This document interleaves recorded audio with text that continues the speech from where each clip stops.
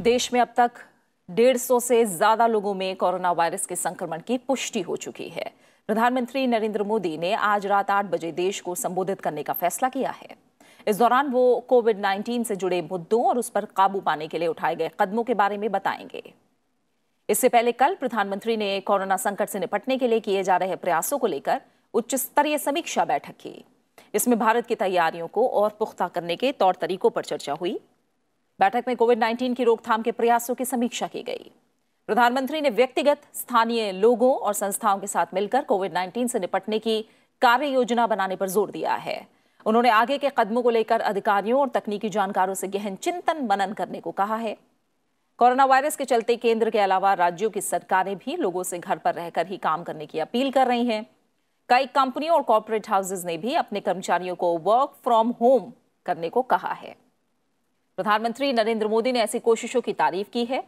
उन्होंने एक के बाद एक ट्वीट किए और लोगों को उनके प्रयासों के लिए साधुवाद दिया।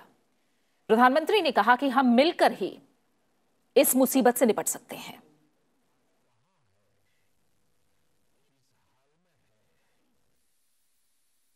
प्रधानमंत्री नरेंद्र मोदी ने कहा है कि सरकार नागरिकों की मदद के लिए हर संभव कोशिश कर रही है। प्रधानमंत्री ने ट्वीट किया कि सामुदायिक प्रयासों के कारण इस तरह के प्रयास संभव हुए और मैं उन सभी की सराहना करता हूँ जो इसे संभव बनाने के लिए काम कर रहे हैं। प्रधानमंत्री ने कहा कि हमारे गृह को सुरक्षित और स्वस्थ बनाने के लिए काम करने वाले सभी लोगों का उत्साह बढ़ाएँ और सराहना करें।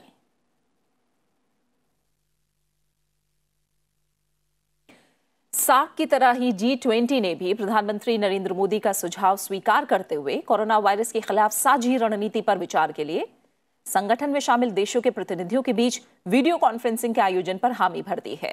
जी ट्वेंटी का मौजूदा अध्यक्ष सऊदी अरब है। यही वजह है कि प्रधानमंत्री ने मंगलवार को वहाँ के crown prince Mohammed bin Salman से फ़ोन पर बात की और कोरोना से लड़ने के लिए आपसी साझेदारी पर चर्चा की ज़रूरत पर ज़ोर दिया। आधिकारिक बयान में कहा गया है कि अध्यक्ष सऊदी अरब जी ट्वेंटी देशों से अगले हफ़्ते extraordinary virtual G twenty summit बुलाने की सूचना दे रहा है ताकि कोविड 19 महामारी इसके मानवीय और आर्थिक प्रभावों को लेकर समन्वित जवाबदेही पर विचार किया जा सके।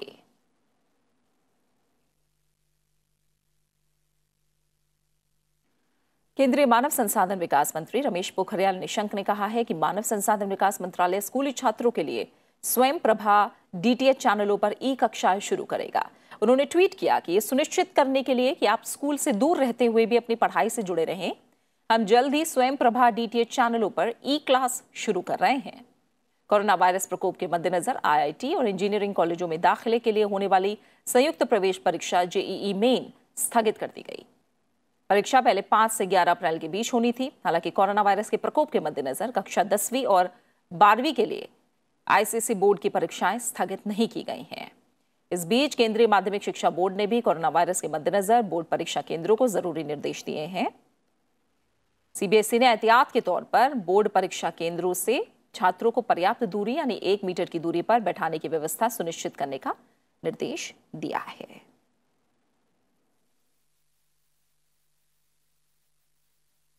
इस बीच देश भर में कोरोना वायरस के अब तक पुष्ट कुल एक सौ इक्यावन मामलों में 14 लोग संक्रमण से मुक्त हो चुके हैं और अब तक तीन लोगों की मौत हुई है। मौजूदा वक्त में कोरोना वायरस से संक्रमित 134 मरीजों मरीजों का इलाज चल रहा है। कोरोना को लेकर किए जा रहे प्रयासों को और आगे की तैयारियों के बारे में स्वास्थ्य मंत्री डॉक्टर हर्षवर्धन ने समीक्षा बैठक की। बैठक में उन्होंने क्वारंटीन सुविधाओं का नियमित रूप से आकलन और निगरानी करने का निर्देश दिया है। स्वास्थ्य मंत्री ने सक्रिय निगरानी के लिए राज्यों की सराहना की। भारतीय आयुर्विज्ञान अनुसंधान परिषद ने कहा है कि देश में कोरोना का संक्रमण अभी सामुदायिक स्तर पर नहीं हुआ है। आईसीएमआर के महानिदेशक डॉक्टर बलराम भार्गव ने कहा है कि भारत में इसका संक्रमण अभी दूसरे चरण पर ही स्थिर है। उन्होंने कहा कि लोग बचाव संबंधी सावधानी बरतते रहे हैं तो इसके फैलाव पर काबू पाया जा सकता है। डॉक्टर भार्गव ने बताया कि अलग अलग जगहों से लिए गए 500 नमूनों में से किसी में भी संक्रमण, कोरोना का संक्रमण नहीं पाया गया है।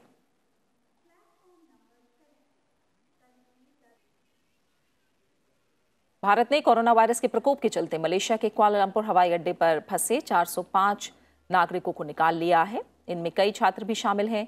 सरकार ने मंगलवार को दिल्ली और विशाखापट्टनम में एयर एशिया की उड़ानों को फंसे हुए भारतीयों की मदद की मंजूरी दे दी थी।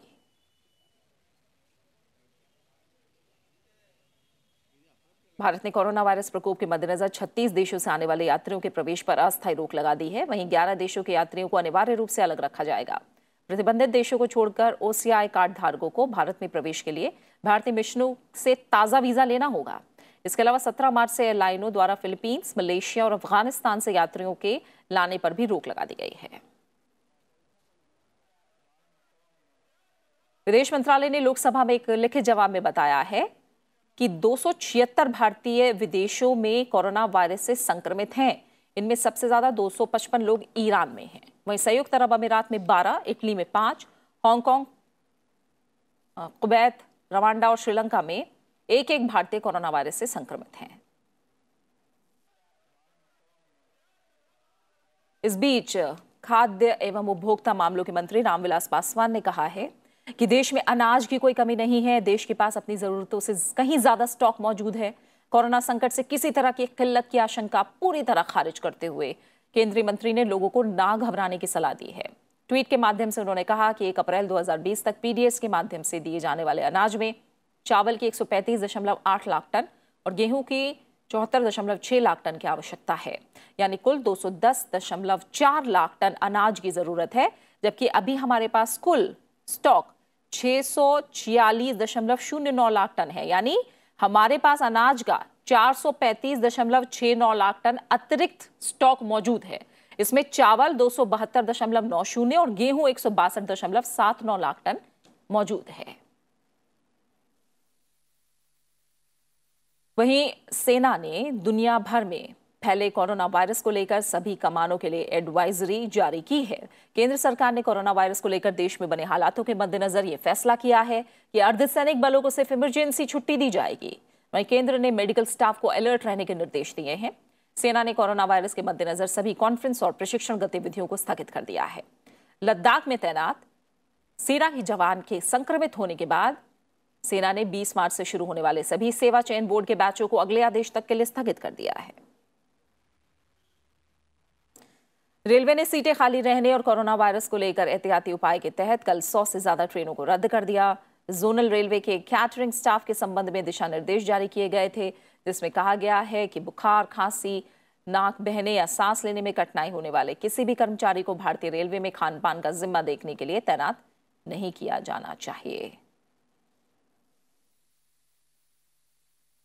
अनु दीवान हमारी सहयोगी फ़िलहाल हमारे साथ जुड़ी है, उनका रुख करेंगे। अनु, देखें तो 150 से ज़्यादा पुष्ट मामलों की संख्या है भारत में और ये भी कहा गया है कि सामुदायिक स्तर पर देश में कोरोना का संक्रमण नहीं है, इस तरह की स्थिति नहीं है। स्टेज टू पे ही स्थिर है अभी भारत में मामले।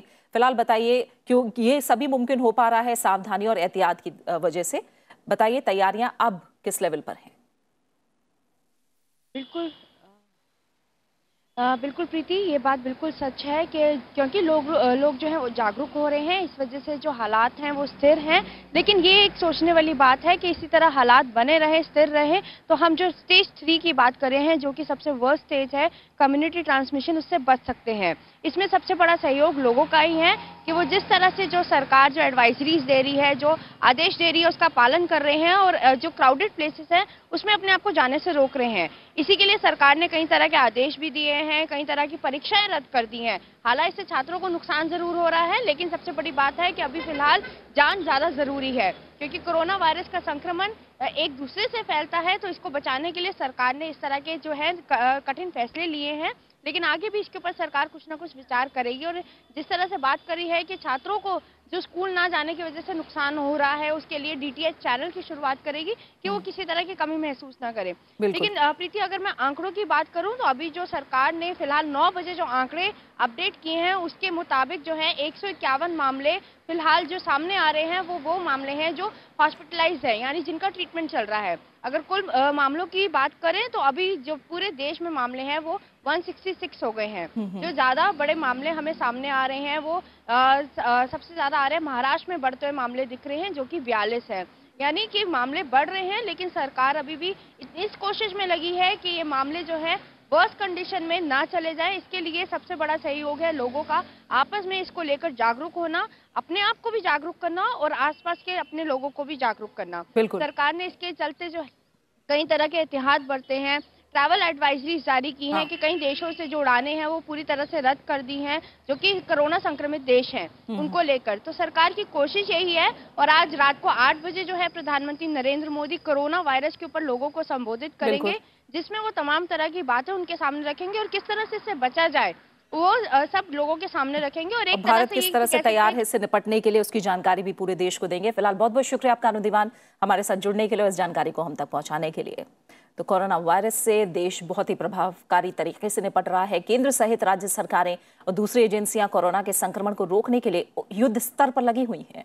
कोरोना का देखते हुए केंद्रीय अप्रत्यक्ष कर और सीमा शुल्क बोर्ड ने आपूर्ति श्रृंखला व्यवधानों से निपटने के लिए सभी सीमा शुल्क संरचनाओं में चौबीसों घंटे निकासी की व्यवस्था पेश की है। साथ ही कस्टम के गोदामों से इलेक्ट्रॉनिक सीलिंग को जमा करने की प्रक्रिया को स्थगित कर दिया है। सुप्रीम कोर्ट ने कोरोना वायरस वैश्विक महामारी के चलते अपने कामकाज पर प्रतिबंध और कड़े कर दिए हैं और घोषणा की है कि अब केवल पाँच पीठ ही काम करेंगी। वहीं इलाहाबाद हाईकोर्ट को सैनिटाइजेशन के लिए तीन दिन के लिए बंद कर दिया गया है। इलाहाबाद हाईकोर्ट का एक कर्मचारी बीते दिनों इंडोनेशिया से लौटा है। उसे बुखार होने पर जाँच के लिए भेजा गया है। वहीं राज्य सरकारें भी कोरोना से निपटने की दिशा में अपने प्रयास तेज कर रही हैं। बिहार सरकार ने कोरोना वायरस को महामारी घोषित कर दिया है। इसके तहत बिहार में प्रशासन को असीमित अधिकार दिए गए हैं। इसके लागू होने से सरकार किसी भी संदिग्ध व्यक्ति में कोरोना वायरस के लक्षण पाए जाने पर उसकी जाँच करा सकती है और उसे बलपूर्वक आइसोलेशन वार्ड में भर्ती करा सकती है। राज्य में अब तक 311 संदिग्ध मामले सामने आए हैं, लेकिन किसी का भी टेस्ट पॉजिटिव नहीं आया है।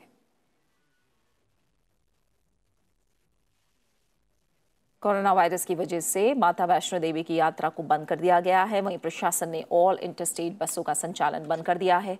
जम्मू कश्मीर से आने और जाने पर प्रतिबंध लगा दिया गया है।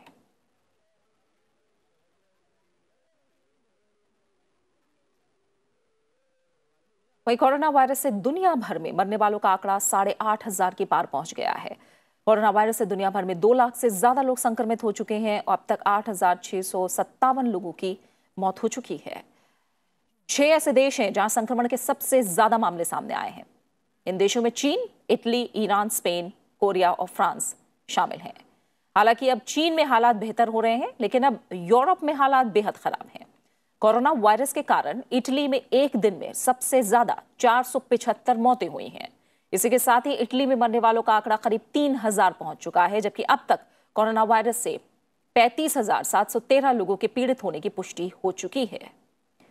वहीं फ्रांस, जर्मनी और ब्रिटेन में भी हालात गंभीर होते जा रहे हैं। फ्रांस में बीते 24 घंटों के दौरान कोविड 19 से नवासी लोगों की जान चली गई।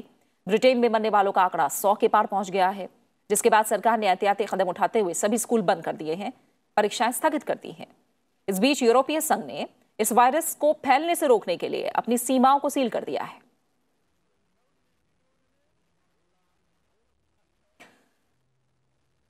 ईरान में कोरोना वायरस से एक सौ सैंतालीस और लोगों की मौत के बाद मरने वालों का आंकड़ा 1135 पहुँच गया है। वहीं अमेरिका की बात करें तो अमेरिका में भी स्थिति जो है वो चिंताजनक है। करीब साढ़े छह हज़ार लोग कोरोना वायरस से संक्रमित हुए हैं। इनमें से 115 लोगों की मौत हो चुकी है। 17 लोग ठीक भी हुए हैं। चीन से शुरू हुए कोरोना वायरस से निपटने के लिए पूरी दुनिया के बड़े संगठन मिलकर कदम उठा रहे हैं। अमेरिकी राष्ट्रपति डोनाल्ड ट्रंप ने बुधवार को कहा कि उनका प्रशासन रक्षा उत्पादन अधिनियम लागू करेगा इस कदम के ज़रिए कोरोना वायरस प्रकोप से निपटने के लिए मास्क और दस्ताने समेत प्रमुख चिकित्सा आपूर्ति और उपकरणों के घरेलू निर्माण में तेज़ी आएगी Be invoking the Defense Production Act just in case we need it. In other words, I think you all know what it is, and it can do a lot of good things if we need it, and we will Uh, we will have it uh, all uh, completed, signing it in just a little while, right after I'm finished with this conference. I'll be signing it. It's prepared to go. So we will be invoking the Defense Production Act. विश्व स्वास्थ्य संगठन ने कहा है कि corona virus के चलते हम अभूतपूर्व खतरे का सामना कर रहे हैं उन्होंने ज़ोर देकर कहा कि मानवता के दुश्मन के खिलाफ साथ आने का यह अभूतपूर्व मौका है। विश्व स्वास्थ्य संगठन ने दक्षिण पूर्व एशियाई देशों से कहा है कि वो कोरोना वायरस संक्रमण का मुकाबला करने के लिए उपाय करें।